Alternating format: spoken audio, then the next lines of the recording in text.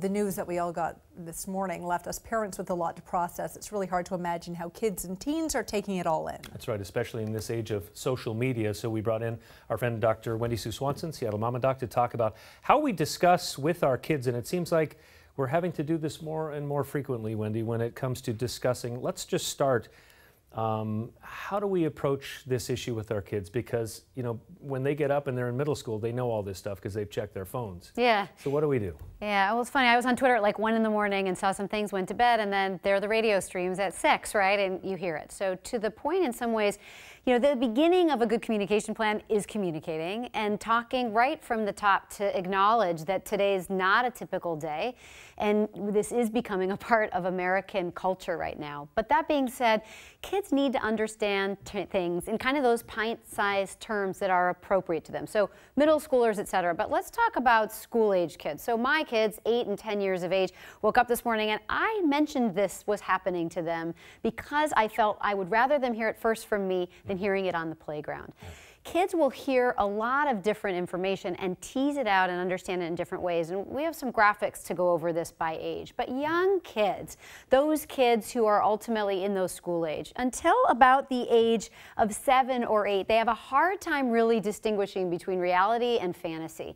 Keep your information simple and brief. I said today, you might hear about a shooting. A bad man took a gun and hurt more people in America in one shooting than has ever happened before. And it was in a place where people were having a good time. This is is not typical and normal. Do you have any questions, right? So I didn't go into the gore in detail. I didn't go into specific numbers. I didn't talk about things, but I did say I'm going to spend my day thinking about how to keep kids healthy, and we do certain things in our homes. So chase information, right, with ways that you as a family keep your own children safe. If you have firearms in your home, remind your kids that if there are firearms there, they are stored separate from ammunition and they are locked up so that no one, no bad people can get them. Mm. As kids age, you can go into more detail. And of course, to your point, middle schoolers will wake up and have questions ultimately that are more probing.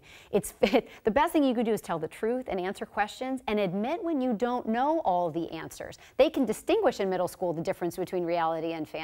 They'll ask more questions about safety. Be honest you can be vulnerable, right? But having a sense of control that this isn't going to happen every day um, and that we do things in our lives. And then as kids get older and older and sophisticated, again, it's kind of thinking really carefully about what can we avoid that puts us at risk.